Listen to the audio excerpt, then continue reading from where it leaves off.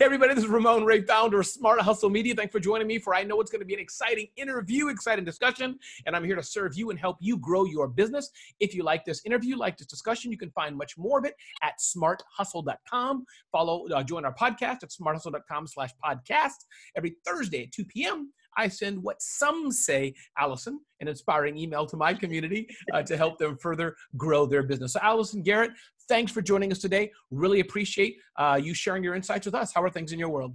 Thank you. Things are amazing.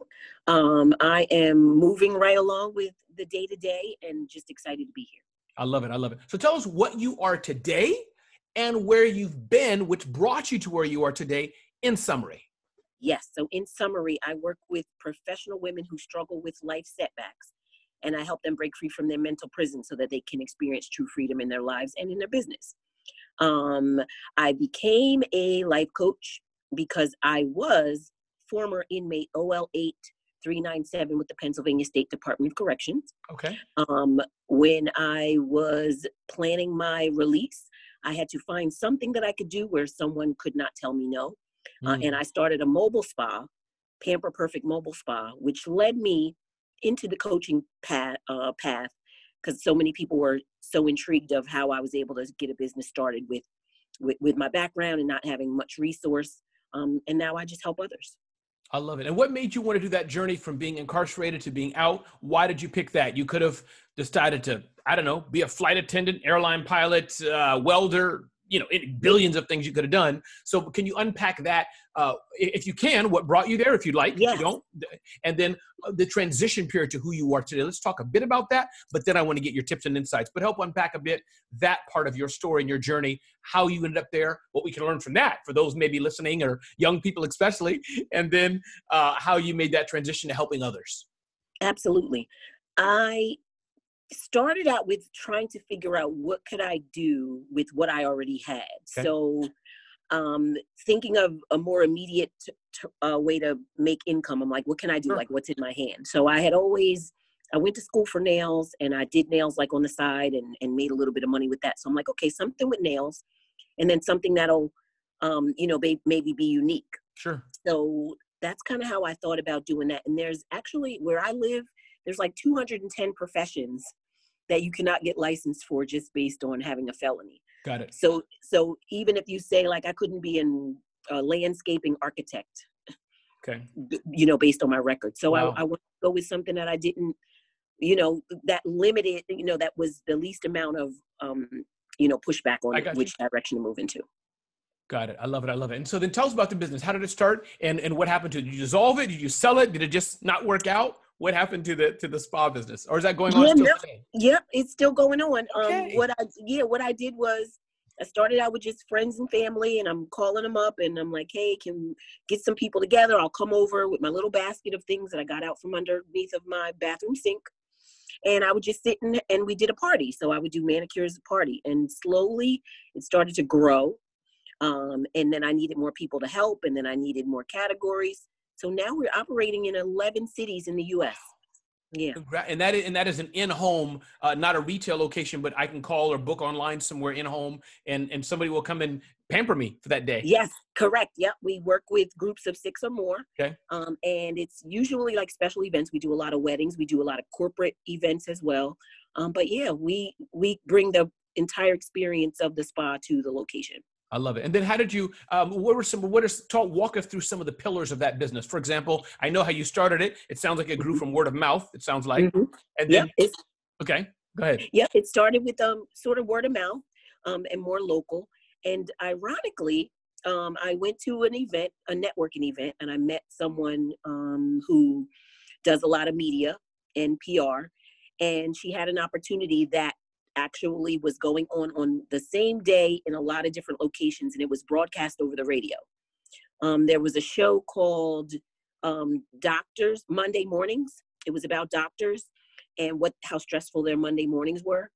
So they wanted someone to be on site in the radio station, providing many services for the radio host while they discussed this show. Uh, and the phone started ringing off the hook. Wow. wow. Wow. So, meaning, Yeah. so meaning you, you were a clarify that you were a guest on the show then or no? Clarify. I missed. Oh no, I was I was not a guest. It was like um the media company called and they said, "Hey, we have this, you know, Monday morning show that's starting. We're promoting it, and we have all these radio stations that are g- going to be talking about it. We would love your company to come and provide services at the radio station." So I had to find Just in the background, like a background vendor, just yeah, yeah, just find some some people and you know i'm the kind of person that i i really I, I jump on opportunities and i feel like i always find ways to make it happen as opposed to say no. Like i wasn't ready in a sense but i proved that i really was ready and it, it was like the best one of the best decisions of my life. And then what was the journey from scaling it from from uh, one yourself, I assume, the Mhm. first person to 11 cities it's in? How did that work? What's that? Give us the, the journey of how that scale uh, worked. Did it go from one to 11? Did it just gradually, as you were in Texas, as someone called from Seattle, you're like, give us a little bit of that story. yeah so I, I what what ended up happening was of course i met a lot of people um along the way so it started out with just doing the cities that they requested and then the ones that were um you know that i had a strong presence in or i had friends or colleagues in that was in the spa world um then we kind of started it with having like an area uh, a person who actually uh, area lead um and then just little by little so i think it started out with I was in Atlanta, Chicago, and then of course like my local area because I Nice. knew people there. And then yeah, over time, going to different events and meeting people like, oh, this would be great if I find a lead and they can find technicians, then we would make it work. I love it. And what's the model? How does that work? Is it franchise? Is it people who are working for you? Give us a sense of that model, how it works. Yep. So the model is it's not a franchise. It is currently it currently operates as independent contractors. Got it. So I go to a website, I make a booking at my house, office, wherever it is. One Yes. or more persons of your company show up and Yep. got to do.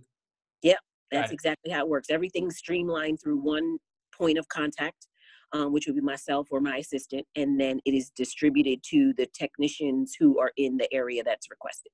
I love it. And then, uh, and how much technology is used, if you don't mind revealing it, or is a lot of it manual phone calls, or do you have some cool AI powered? Yeah, no, does that nothing cool yet. Maybe it's in the maybe it's in the works, or I haven't met Okay. who does it yet. But yeah, pretty pretty much manual, old Okay. school. I mean, just basically call on the phone and get booked, and the, um, you know, goes into a queue based Right. on where the person's located. Either we can do it. Um, sometimes we get requests from areas that we're not listed in, but Right. still could provide the service in if we have enough time. Got it. Let's say, and, and let's remind us the name of the business again, and, and please give us the website address for everybody to Yes. know. It's Pamper Perfect Mobile Spa, and the website address is the same. Got it. So- Pamper Perfect Mobile Spa. Wonderful. You- Okay, got it. Yes. So, so let's say that I want to work for Pamper Perfect Mobile Spa. I and I Mhm. have the credentials, whatever it is. How do you Mhm. know that I'm delivering the same service here where I am in the New Jersey area that Allison and Pamper Perfect Mobile Spa demand? How, what? How do you vet or or uh, evaluate me? I want to work for you. I'm okay. I wanted Ramon Ray wants to work, and assuming I'm sure there's some minimal certification which anybody can have. Yes. How do Yes. you evaluate me? From a jerk or not a jerk? Good, not good? what happens? Well, great question. We usually send um, newer technicians along to an event that's already um, been booked, um, and then they kind of shadow or work alongside. Um, and then usually the person that's with them is a trusted person who's been working with the business for a while, so they know, you know, different things to look for. Um, people assume sometimes that just because you can provide a service, you could still be a mobile operator, but it really is a different dynamic. So it does take a specific personality to be able to deal with um, you know, going into someone's location as opposed to them coming to you. Right. And and then how do you evaluate that? Meaning, so give me talk, tell me more. I want to work with you. I ha- I pass the transactional, and again, I'm not in the the pamper business, Yes. but I can do nails or hair, or whatever it is. Who evaluate is the person who the person who you've already hired in the area evaluating me and gets back to you and says thumbs up, thumbs down. How does that work? Yep, it's a part of that, and then a part of that is um, giving specific scenarios, like during a question, you know, like during a Q and A. So it would be, you know, like let's just say, hey, um, you show up, you're at an event, you get booked, and you ran out of towels, right? Right. You don't have any towels. You're in this person's home. How do you handle that? And those are real scenarios. So Right. even depending on some of those answers, seeing how how the person um, caters to the guests in their own home just you know a lot of different things like the etiquette that Right. you, you can't really teach people So that you're looking for, as you're looking to hire or work with a contractor, the person who's evaluating me is looking at that right as I come in the door. How do you Yeah. smile, not smile? That's just I'm being Yep. evaluated the moment. Got it. Yes, and it doesn't mean that it's like a no-go. It just means that the person that's that I trust, they've been through a lot of events, so they know some of the things that might not work. They might Right. say, "Hey, you know, she was an excellent technician. She did this right. She did this right," or you know, but she was on her phone the whole time, or you know, like different little things that you don't really think about, and it's not really like a. It's it's more of an informal interview. You know, or maybe she stepped out of the room too much, or Yeah. you know, didn't um, use sanitation practices. Things that you don't really have to tell people Sure. in the industry if they're operating professionally. Got it. As you as as for those listening to this interview, Allison, who are looking to scale, what's your advice for us? You know, let's say those who are looking to kind of do a model like you, where they have one person, or myself, those Ramon's interviews, and I'm looking to hire ten others to do interviews. what's your advice for me to scale myself so I Mhm. can grow? What lessons have you learned? Things you've done wrong that we can learn as we're looking to scale and do a replication type of model. Allison's not there, but this is your, it's not your name, but it's your company name on it. Yes. What are some things we can learn? The biggest lesson that I learned was like I had to really let go of it. Like I know that I can duplicate the process, but I can't duplicate myself and not to be so hard on yourself with trying to, you know, scale your model. Um, I think also you have to rely on the support of um, sort of like you have to try it, you know, like you have to see if it's going to work. You you have to uh, pretty much you have to already be prepared with a layout that if if you didn't have all of the information about my business, I should be able to hand something to you and you be able to run with it. So Got it's sort of going into that process of creating the protocol Got it. um, so that someone has something even if they never had a conversation with you. So it's sort of if if if you're getting to that point where that's something that you want to do, you should probably have like some sort of a manual or protocol. It doesn't have to be anything fancy, but you have to have something that you can hand over to someone that they can do exactly what you would do, almost like a flow chart. Like if this happens, this is next, and if this happens, this is next. And I think we forget that. We want to just bring people on and, and throw them out to to do what we do, but you, you have to have a lot more um, information for them to go on. Yeah. The word I've heard many times for that is systems and processes. You know, to have it so it's repeatable, repeatable. Yes. Got it. And where do you see the growth? Where do you see the business going in another, another year or two? What's your dream? What's your desire? Oh, in my a dream is to yeah go through the process of licensing. Okay. Um, I think I've done some research um, just to kind of see that that would there's so many people that want to you know operate mobily or even the um even how it's grown as an industry more people are looking for at home. I mean even right now everything people want exclusively at home. So there's you know there's room for for growth but i think what i see is um just building strong um just a strong presence Yeah. um in in the industry and licensing Got it. What are some of the biggest challenges that you think you'll face? That you what are some of the challenges you faced in getting it to the point it is now? What are Mhm. some of the challenges that you foresee? challenges from where I am now, honestly, is pretty much what I was saying. Was trying Okay, to do it all myself. Yeah, it's like I'm doing it all. Like I, I need to talk to every person that I call because I, in my mind, I feel like if I talk to them, it's a guaranteed booking. If I, you know, source that out, then maybe they don't have all the Yes. answers. So it was really the biggest um challenge that I had was trying to do everything, answering the phones and showing up, providing the services as well. So I think um leave some of the things, you know, I always tell people like draw three columns, you know, the things that you are an expert at and love to do, Yep. the things that you do if you have to do but you don't really want to do, and the things that you don't like to do at all. Smart. thing- The things that you don't like to do at all, outsource those things. Find someone, pay someone, invest, hire, uh, you know, get an intern to do those things that you just don't like. So if I don't, if I know emails is a necessary part of my business and I just can't stand doing emails or I'm not great at them, I would outsource that. So that you know that that's what I would say is that advice and um, biggest challenges. Moving forward, I would say the biggest challenge is um, probably currently just based on everything that's going on. Sure. yeah. It's you know finding ways to still stay relevant and also be safe, keep people safe, um, because there's still a lot of hesitation all the way around, um, not just for clients but for workers.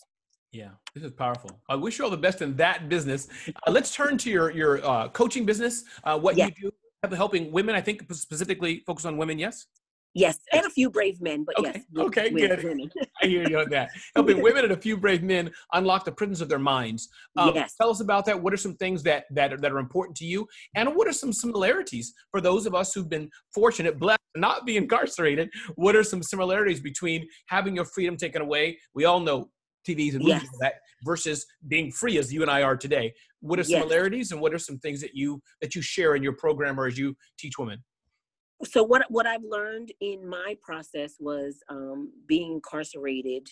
Um, I learned that there were average everyday women that were stuck in the mental prison, which is how I started to evolve into not just helping people who were formerly incarcerated, but realizing that we kind of all want the same things. You know, we have dreams and, and goals and things that we want to achieve, but there's something that's holding us back.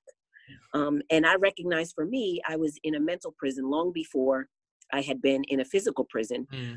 solely based on things that have happened to me in the past that I just couldn't get get through, yeah. maybe hadn't resolved, or um, just traumatic experiences as a child um, that led me to believe things about myself um, that hindered me from moving forward and being successful and that's kind of what i teach in in my program it starts out with the very basics of you know why we do what we do and i mm-hmm. connect um, people to their internal qualities that we never talk about as opposed to being so connected to the external qualities you know like when we identify ourselves we forget about the things about us that really make us up as opposed to just our physical makeup and where we live and what we drive and what we do and our role as a mom or a wife or a, a mother um, all of those things. It's like just connecting back to the core of who you really are helps you kind of uncover how you can continue to move forward no, for sure, that is powerful. Um, and, and, any particular women who you who you're finding out that are common, um, any commonalities? Are you finding there's commonalities that the people you're talking to, and it could be commonalities because they're attracted to you, or it mm-hmm. could be mm-hmm. commonalities because we're human, or anything else. But I'm finding, are you finding any common threads like Ramon? If I could solve these three things for all the women I come across, I'd be out of business. You know, if or two yeah, things. Anything you that, got it. Well, I would say the main thing that most women more specifically that that I come in connection with, um, they they don't really know what they want. They they're unable to describe or vividly explain what they want. I mean, I could ask someone what they want and they would say, "Oh, I just want to be happy." Right. Well, what does that look like? So I think that's the, the first thing is having like, a spa day. Having a spa day could be that's on the on the radar. Absolutely, you'll you you might think a little bit clearer then. But yeah i think that's it is most people don't really know what they want. They know that they're uncomfortable or they're desiring more or they they're missing something but they're unable to articulate it um, in a way that would help them connect to it or attract it. Got it yeah, no, that is powerful. I think it's powerful um, as well. I'm curious, uh, um, who do you look to for mentorship as you grow your business? Um, I know for me, I have a few names that I'll share in a minute, but do you look to anyone for mentorship or leadership, or how are you? How are you bettering yourself? How is Allison improving herself? Yeah, I think what I've learned. I mean, I've always had people in the industry that I admire, but I think it's always been important to me, and this is what I teach as well. Is you got to have like a, a starting five so it's like five people in your circle that you not only do you admire them from afar, but I could send them a text message at yeah. midnight and tell them about this, this idea that I have, and they're going to help um, bring clarity to it for me. So just in my in my personal circle, I have um, you know some incredible women um, that I can run things past or have a resource for um, that helps me continue to to be better and not like like not get stagnant or stuck. Like always looking for you know how do I grow and how what I'm learning helps others. I love it. I love it. It's powerful. Anything else I didn't ask you that you wanted to share? Uh no, I think okay. um I, I, think just really if it, right now just because of the time that we're in with um you know with being in quarantine and coming out of uh you know the uh the whole pandemic and I think it's been a time of for everyone for the self-reflection um, so I want people, I just want to kind of leave people with the idea that over this period of time, what have you, not only what have you learned, like what have you learned in the past, you know, 90 days or 15 sure. weeks, um, but what are you going to do with what you learned? And, and just kind of think about that a little bit to help you move into, you know, just this, this next phase of, of, of your purpose and, and what it is that you're here to do. I love it. Allison uh, Garrett, one more time, can you give us your uh, full name of your spa company and give Yes. us website and then how people can reach you for your second business of coaching, if you wish, whatever you wish to share in that. Absolutely. So Pamper Perfect is pamperperfectmobilespa.com. Um, and my coaching, I am considered the prison break coach. So that is prisonbreakcoach.com. You can find me on um, either of those platforms. I love it. And again, everybody, you know, my name is Ramon Ray, founder of Smart Hustle Media. Check out smarthustle.com for interviews like this with amazing people like Allison as we help you start or grow your business. If you're listening to this podcast, do me a favor, give it a review, give it a thumbs up. If you have to give it a thumbs down, don't do thumbs down. Just email me privately and let me know. Uh, and if you want to go to ramonemail.com, you can check out um, uh, the my email newsletter, which comes out every Thursday at 2 p.m. But again, thanks for taking the time to listen to the Smart Hustle podcast. And my name is Ramon Ray at smarthustle.com.